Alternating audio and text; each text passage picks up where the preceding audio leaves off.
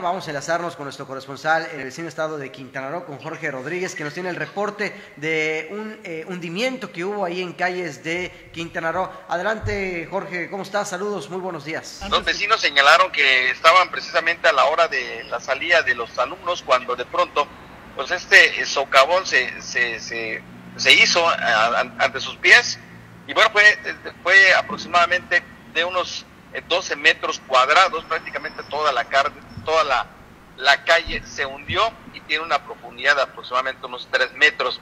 Esto llamó la, atención de curiosos extraños, quienes se armonizaron en el lugar y bueno, de manera inmediata dieron aviso al número de emergencia 911 y bueno, llegaron autoridades de protección civil municipal, autoridades del Estado, quienes tomaron la determinación de acoronar la zona, impedir el paso de vehículos y bueno, el día de hoy precisamente el titular del IFECRO, del Instituto para la Infraestructura, la Infraestructura del Estado de Quintana Roo, Abraham Rodríguez Herrera, pues llegó hasta el lugar para supervisar los trabajos que se van a realizar para que se repare este socavón que se realizó frente de la escuela. Y precisamente para evitar algún problema con los padres de familia se tomó la determinación de suspender clases el día de hoy en el plantel educativo mientras se realizan los trabajos para la reparación. Esta colonia Barrio Bravo es una de las primeras colonias de la capital del estado con más de 30 años de antigüedad y bueno, varias de sus calles presentan este tipo de problemática,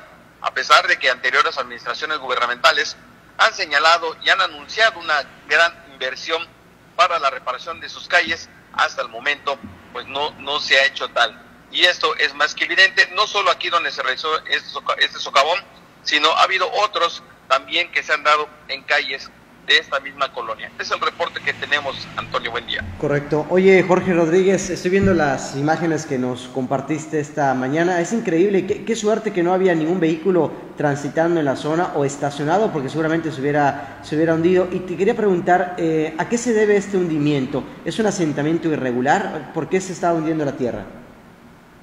Mira, te comento, eh, la colonia Barrio Bravo está eh, adyacente a lo que es precisamente el Boulevard Bahía de la capital, está a unos cuantos metros del mar y bueno, pues eh, por abajo, eh, lo que es todo lo que es la bahía alrededor de la colonia, pues ha ingresado el agua y prácticamente está reclamando lo que le pertenece, por lo cual la mayoría de los socavones se han dado pues precisamente en los alrededores de la colonia.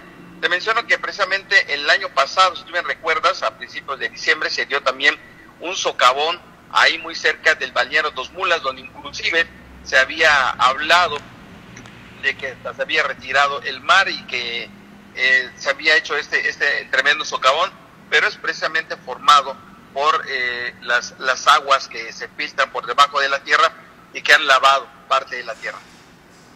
Perfecto. Muy bien. Jorge Rodríguez, como siempre, muy oportuna y completa tu información. Estamos pendientes. Saludos y un fuerte abrazo desde esta capital yucateca hasta la capital del vecino estado de Quintana Roo, ahí en Chetumal. Saludos, fuerte abrazo.